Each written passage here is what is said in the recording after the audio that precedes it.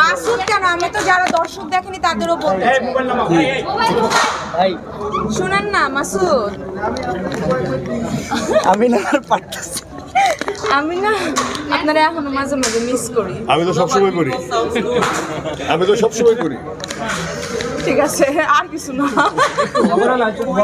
না আমার তো মনে হয় না যে মাসুদরা ভালো হয়। বা এটা আসলে চরিত্রের প্রয়োজনে চরিত্রের সংলাপ যে মাসুদ তুমি ভালো হবে না? বা মাসুদ, তুমি ভালো হয়ে যাও। তো আমিও এই এক একসুরেই বলব, আসলে আজকে দীর্ঘদিন ধরে তো আমরা অনেক বলছি। এখন বলার পারা হচ্ছে আপনাদের যে আমাদের টোটাল টিম একত্রিত হয়ে আমরা আসলে একটা গল্প বলার চেষ্টা করেছি। সেই গল্পটা যদি কোনোভাবে আপনাদের সাথে কানেক্টিভিটি তৈরি করে দ্যাটস এটাই আমাদের সাকসেস গল্পটা, গল্পের জায়গা থেকে আমরা বলতে পারছি কিনা। আর এই চেষ্টাটা এখনই থেমে থাকবে না। এটা তো শুধুমাত্র আমার অভিষেক।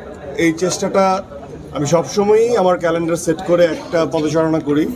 তো এই চেষ্টাটা তো মৃত্যুর আগ পর্যন্ত থাকবে, কিন্তু খুবই নিয়ার ফিউচার আপনারা দেখবেন যে হয়তো বা ঘোষণা আসবে বা যেটাই আসবে, এর এর আগেও অনেকগুলো ঘোষণা এসেছে, আপনারা জানেন অবগত। সো আমার তরফ থেকে এই চেষ্টাটা জারি থাকবে, সচল থাকবে ইনশাল্লাহ না, আলহামদুলিল্লাহ, এটা আমি তো বারবার বলছি যে এটা আমাদের টিম ওয়ার্ক আমাদের পুরো টিমের পরিশ্রম, এখানে আসলে একার পুরো টিমেরই এই, এইটা যদি জয় হয়, তাহলে সেই জয় পুরো টিমেরই, আমার একার না।